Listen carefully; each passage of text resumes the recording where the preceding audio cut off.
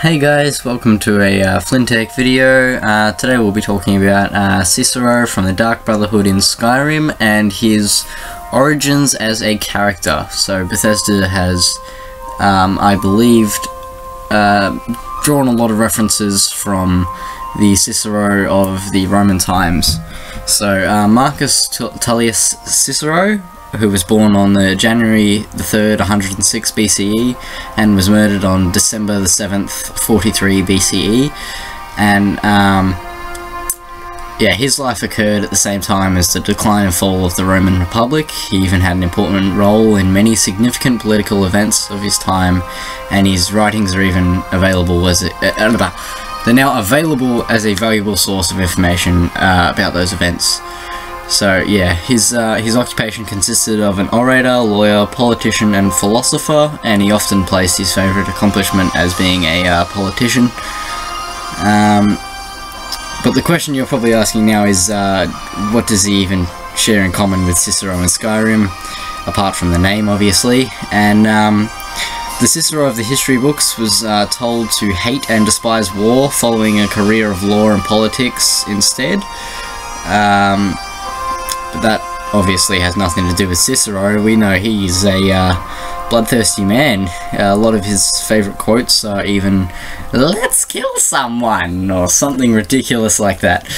Um, so, this is where these similarities start to occur. Um, we know that Cicero was responsible for executing five men without trial during his term as uh, consul, the highest Roman office. Um, the men he had executed were planning to overtake the Roman state by force, and if that sounds familiar, it should. In the Dark Brotherhood campaign, you can read Cicero's journals. In one of the journals, Cicero mentions someone trying to pretend they were the listener for the Dark Brotherhood, uh, the person who can commune with the Night Mother, and Cicero, learning that the man was lying, murdered him and received praise from everyone, much like the Cicero of Roman times.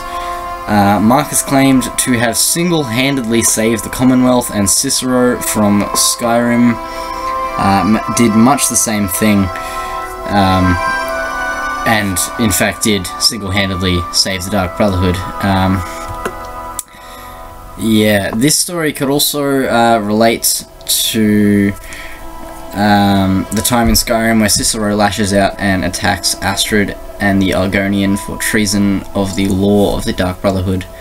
Uh, now, Marcus later in his life was physically abused for sentencing the sentencing, uh, sentencing the execution of those men and fled the city, then was exiled and forbidden to enter the city after he left. Uh, similar to Cicero, who also fled from Cyrodiil uh, to Skyrim, uh, although Cicero did flee for different reasons. Um, Cicero was later murdered, his hands and head displayed to the public uh, afterwards. This is the real Cicero, obviously. Uh, this correlates with the game, as you as the Dragonborn have the option to kill Cicero at the end of the Dark Brotherhood main questline, and yeah, that's basically where I found that the similarities ended. I will list the uh, sources that I had for finding this information in the description. I uh, hope you enjoyed this video. Subscribe for more videos like this, other random videos mostly, because I don't really have a specific topic uh, in my videos, just kind of go with whatever I feel like doing at the time. Uh, yeah, leave a comment, love to hear from you guys, and um, yeah, thanks for watching.